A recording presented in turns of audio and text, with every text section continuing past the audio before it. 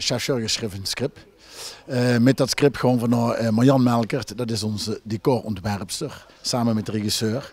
En er wordt bedacht over jeder scène wat ze erbij bedoeld heeft en uh, welk decor ze erbij bedacht heeft.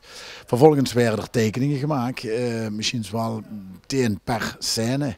En van die tien werden maar weggestreept dat er uiteindelijk één euro blijft. En daar gaat het dan uiteindelijk mankettes van maken met boettekeningen. En daar gewoon weer met aan de slag. Er zijn meerdere concepten gekomen. Is het lastig om daar hoe te kiezen? Uh, ja, de, uh, omdat het uh, allemaal in de hedendaagse tijd speelt, wil ze dat toch zo fris mogelijk houden en kijken van nou, wat kennen we? mijn mijn eerste vraag waarom wij hier met de dreeschief te werken. En daarmee krijgt je ja, een heel ander decorboe als wat ze gewend is. En uh, om niet weer met de schilder, geschilderde doeken te gaan werken. Gaan we dus nu werken met foto's die we projecteren. Dus dat wordt ook wel allemaal heel erg nu. En, uh, ja, en zo hebben ze verschillende ideeën wat ze proberen uit te werken met datgene wat ze voor gekozen hebben. En, uh, dat werkt erg goed. Wie zit je er ook op gekomen om uh, met zo'n drijfschief te werken en uh, dat hier in te brengen? Ja, nou, de drijfschief uh, hebben we uh, ene keer gebruikt in 2000. En alleen niet groot genoeg omdat we die pas het smondigs wie voor de Showburg in gingen gekregen hebben. Toen waren het voor iedereen nu, ook voor de spelers, ja, we er nog gar niet op gerepeteerd. En deze revue eigenlijk is voor omdat we een, een hoornkamer hebben die wat immer druk in de tussenscènes. En die draait dan immer naar voren, blijft immer op de bühne staan. En dat eigende zich de drijfschief fantastisch voor. En vandaar dat we ook de drijfschief nu in een maand eerder hebben gehuurd. Zodat we een schoot in kosten oefenen in de optogal. En die gaat dadelijk weer, wordt die weer afgebroken en in de show weer opgeboet. En dan hebben toch de spelers in zijn maand lang top kunnen oefenen. Is dat niet lastig om een uh, script te schrijven? Mm, dat is een vertaling van uh, gevuilens en wat ze met de stad hebben en wat ze met maken en als ze een lu denk dat ze leuke personages en als ze nog gebeurtenissen kijken, of ze nog kijken naar de opening van de linie die eraan komt.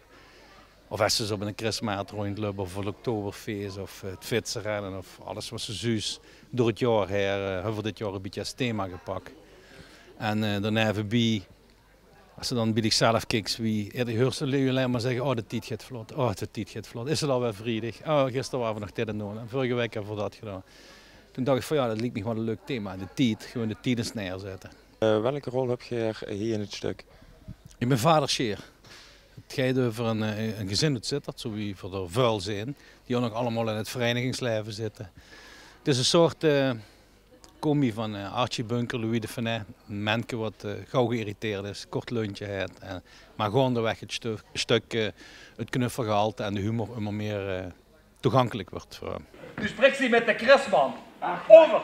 Maak dat de kat wie is, heb je de Karels Over!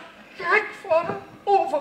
Maar goed, weet je, geen Christboom, Jos in de woorden gaan naar bedden. Begrijp je? dat is gewoon, dat is hier, want dit is dit zo wat ik uh, decor staat nu op. Uh, wanneer gaat het naar de Schouwburg toe?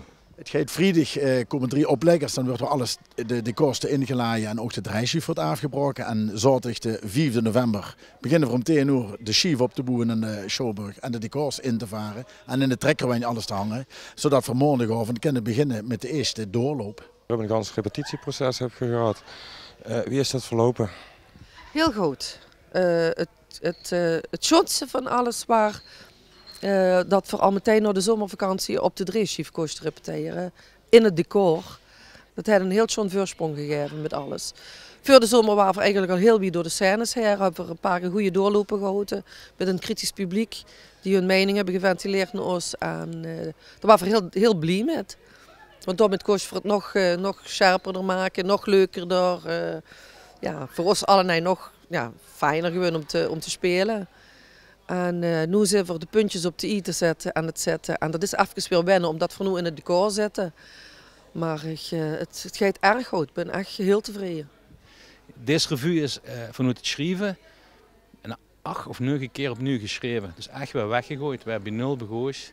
De goede dingen overgenomen naar die tweede versie, een derde, vierde. En gewoon zo steeds verbeterd, verbeterd, verbeterd. En ik denk nu dat we op, de, op, het, het level zitten dat dit voor iedereen een hele leuke, toegankelijke uh, revueavond is. Gewoon een avond is Kom zitten, laat het over de geer komen en lach gewoon eens een avond. Ik bedoel, in deze tijd moet gewoon meer gelachen werden. Huh?